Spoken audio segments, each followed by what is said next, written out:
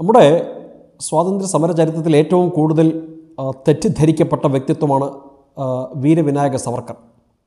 രണ്ടായിരത്തി ഇരുപത്തി രണ്ട് ഓഗസ്റ്റ് മാസം മുതൽ സവർക്കറിനെ മലയാളികൾക്ക് പരിചയപ്പെടുത്തുവാനുള്ള ഒരു ഉദ്യമത്തിലാണ് ഞങ്ങൾ. സവർക്കറെ സവർക്കറെക്കുറിച്ച് കാര്യമായ പഠനങ്ങളൊന്നും സ്വതന്ത്ര ഭാരതത്തിലെ കോൺഗ്രസ് സർക്കാരുകൾ പ്രോത്സാഹിപ്പിച്ചിരുന്നില്ല. അതുകൊണ്ട് തന്നെ ഭാരതത്തിൽ ഒട്ടുക്കും പ്രത്യേകിച്ച് മലയാളത്തിൽ സവർക്കറെക്കുറിച്ച് ഒരു കൃതി പോലും ഇല്ല എന്ന് വേണം നമ്മൾക്ക് പറയുവാൻ. ഭാരതം സ്വതന്ത്രയായപ്പോൾ സ്വാതന്ത്ര്യത്തിന്റെ പൊതുത്വം അന്നത്തെ മിതവാദി കോൺഗ്രസ് നേതൃത്വത്തിന്റെ കയ്യിലേക്ക് മാത്രം വന്നുയർന്നു വിപ്ലവകാരികളും കോൺഗ്രസ്സിലെ തന്നെ തീവ്ര ദേശീയവാദികളും ഒരു സൈഡ് ആക്ടറിന്റെ റോളിലേക്ക് തഴയപ്പെട്ടു. അതിനുശേഷം എഴുതപ്പെട്ട ഭാരതത്തിന്റെ സ്വാതന്ത്ര്യ സമര ചരിത്രത്തിലും അവർക്ക് സ്ഥാനമില്ലാതെയായിപ്പോയി.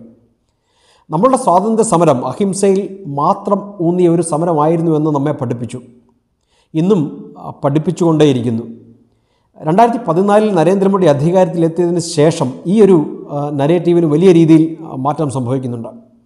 ഇന്ന് സവർക്കറെക്കുറിച്ച് നമ്മൾക്ക് സ്വതന്ത്രമായി എഴുതാം സംസാരിക്കാം. എന്നാൽ അതായിരുന്നില്ല അതിന് മുമ്പ് ഉണ്ടായിരുന്ന സ്ഥിതി.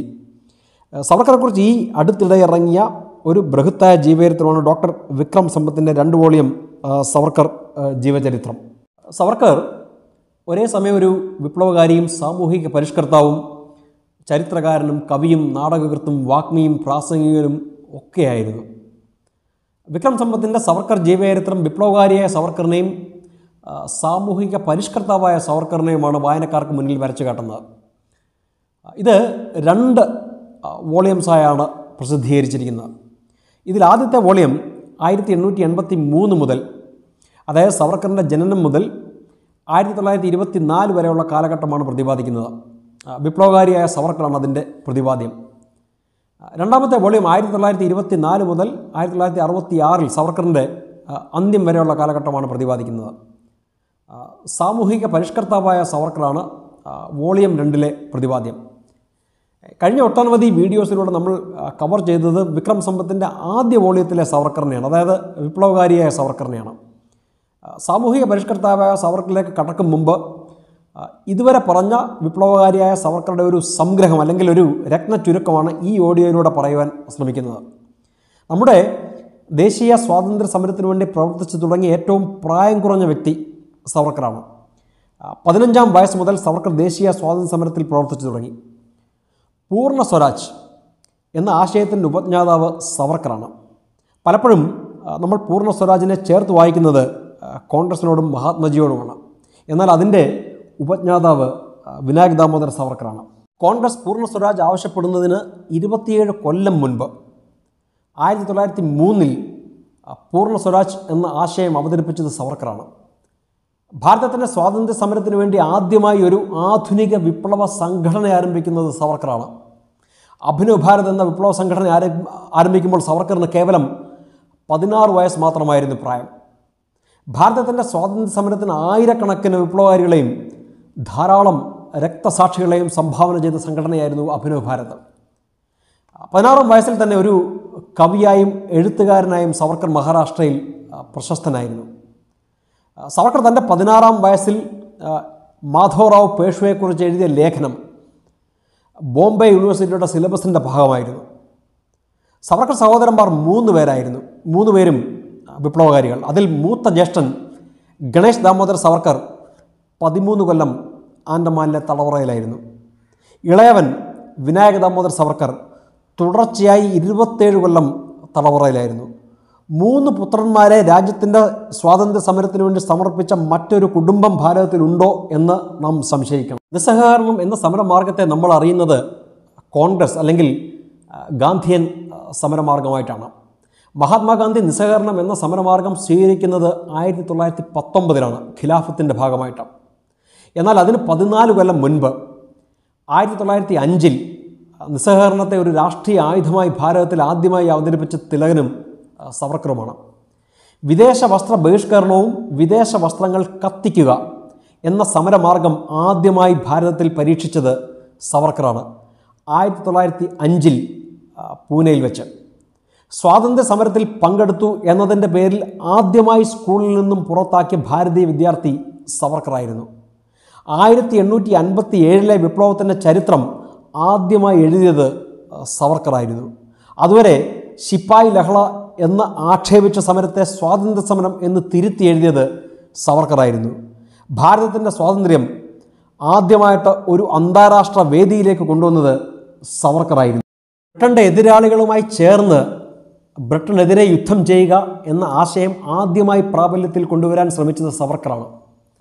ഭാരതത്തിന്റെ സ്വാതന്ത്ര്യത്തിന് വേണ്ടി ആദ്യമായി ഒരു അന്താരാഷ്ട്ര വിപ്ലവ നെറ്റ്വർക്ക് ഉണ്ടാക്കുന്നത് സവർക്കറാണ്. അതിന്റെ ഭാഗമായി ആയിരത്തി തൊള്ളായിരത്തി ഒൻപതിൽ റഷ്യൻ വിപ്ലവകാരി ലെനിൻ സവർക്കറെ അദ്ദേഹത്തിന്റെ ലണ്ടനിലെ താമസ സ്ഥലത്ത് ചെന്ന് കാണുന്നുണ്ട്. സവർക്കർ അറസ്റ്റ് ചെയ്യപ്പെട്ടിരുന്നില്ല എങ്കിൽ മുസ്തഫ കമാൽ അതാതുക്കുമായി ചേർന്ന ഒരു ഈജിപ്ഷ്യൻ ഇന്ത്യൻ റവല്യൂഷണറി മൂവ്മെന്റിന് സവർക്കർ തുടക്കം കുറിച്ചേനെ. സ്വതന്ത്ര ഭാരതത്തിനു വേണ്ടി ആദ്യത്തെ ദേശീയ പതാക രൂപകൽപ്പന ചെയ്തത് സവർക്കറാണ്. ആ ദേശീയ പതാക ആദ്യമായി ഉയർത്തിയത് ആയിരത്തി തൊള്ളായിരത്തി ഏഴിൽ ജർമ്മനിയിലെ സ്റ്റുഡ്ഗാർഡിൽ നടന്ന അന്താരാഷ്ട്ര സോഷ്യലിസ്റ്റ് കോൺഫറൻസിലായിരുന്നു. സൈനിക സേവനത്തിലൂടെ വിപ്ലവകാരികളെ പരിശീലിപ്പിക്കുക എന്ന തന്ത്രം ആദ്യമായി ഉപയോഗിച്ചത് സവർക്കറാണ്. ഒന്നാം ലോക മഹായുദ്ധക്കാലത്ത് ധാരാളം വിപ്ലവകാരികൾ ബ്രിട്ടീഷ് സൈന്യത്തിൽ ചേർന്ന് വാർ എക്സ്പീരിയൻസ് അല്ലെങ്കിൽ യുദ്ധപരിചയം നേടിയിരുന്നു. സവർക്കർ അഭിനവ് ഭാരതത്തിലെ വിപ്ലവകാരികളെ ആയിരത്തി തൊള്ളായിരത്തി ഏഴിൽ നടന്ന മൊറോക്കോ സ്പാനിഷ് യുദ്ധത്തിലും പങ്കെടുപ്പിച്ചിരുന്നു. റഷ്യൻ വിപ്ലവകാരികളുടെ സഹായത്താൽ ഭാരതത്തിലെ വിപ്ലവകാരികൾക്ക് വേണ്ടി ഒരു ബോംബ് മാനുവൽ ആദ്യമായി ഉണ്ടാക്കുന്നത് സവർക്കറാണ്. ഭാരതത്തിന് പുറത്തു വെച്ച് തൂക്കിലേറ്റപ്പെട്ട ആദ്യ സ്വാതന്ത്ര്യ സമര സേനാനി മദൻലാൽ ധിങ്ര സവർക്കറിന്റെ അഭിനവ് ഭാരതത്തിലെ വിപ്ലവകാരിയായിരുന്നു. നിങ്ങളൊന്ന് ഓർക്കണം മദൻലാൽ ധിങ്കരക്കെതിരെ അന്നത്തെ കോൺഗ്രസ് പ്രമേയം പാസാക്കി. ആയിരത്തി തൊള്ളായിരത്തി ആറിനും ആയിരത്തി തൊള്ളായിരത്തി പത്തിനും ഇടയിൽ ഭാരതത്തിൽ നടന്ന ഒട്ടുമിക്ക വിപ്ലവ പ്രവർത്തനങ്ങളുടെയും ഇൻസ്പിറേഷൻ പ്രചോദന കേന്ദ്രം സവർക്കറായിരുന്നു. ലണ്ടനിൽ വെച്ച് അറസ്റ്റ് ചെയ്യപ്പെട്ട സവർക്കറിനെ കപ്പൽ മാർഗം ഭാരതത്തിലേക്ക് കൊണ്ടുവരുന്ന അവസരത്തിൽ അദ്ദേഹം ഫ്രാൻസിന്റെ തീരത്ത് വെച്ച് കടലിൽ ചാടി രക്ഷപ്പെടുവാനൊരു ശ്രമം നടത്തി. ഈ സംഭവം ബ്രിട്ടനും ഫ്രാൻസും തമ്മിൽ ഇന്റർനാഷണൽ കോർട്ട് ഓഫ് ജസ്റ്റിസിൽ ഒരു വലിയ തർക്കത്തിൽ കലാശിച്ചു.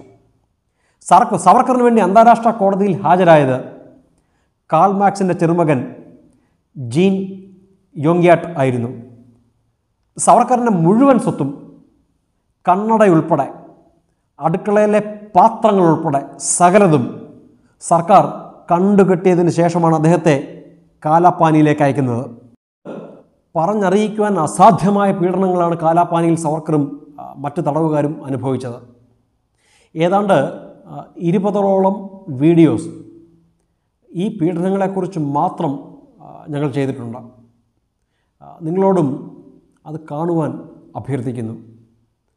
ഈ കാലാപ്പാനിയിൽ നടന്ന ക്രൂരമായ പീഡനങ്ങൾ എന്താണ് എന്നതിന് ഒരു ഏകദേശ രൂപം നിങ്ങൾക്കത് തരും. സെല്ലുലാർ ജയിലിനെ റിഫോം ചെയ്തത് സവർക്കറാണ്. ഇന്ത്യൻ ജയിൽ റിഫോംസിന്റെ പിതാവ് എന്ന് നമ്മൾക്ക് ആരെയെങ്കിലും വിളിക്കാമെങ്കിൽ അത് വിനായക ദാമോദർ സവർക്കറാണ്. ഒന്നാം ലോകമഹായുദ്ധവും രണ്ടാം ലോകമഹായുദ്ധവും പ്രവചിച്ച വ്യക്തിയാണ് സവർക്കർ. ഒന്നാം ലോകമഹായുദ്ധം തുടങ്ങുന്നതിന് നാല് കൊല്ലം മുൻപ് സവർക്കർ അത് പ്രവചിച്ചുകൊണ്ട് എഴുതിയ ലേഖനം ഇന്ന് ലഭ്യമാണ്.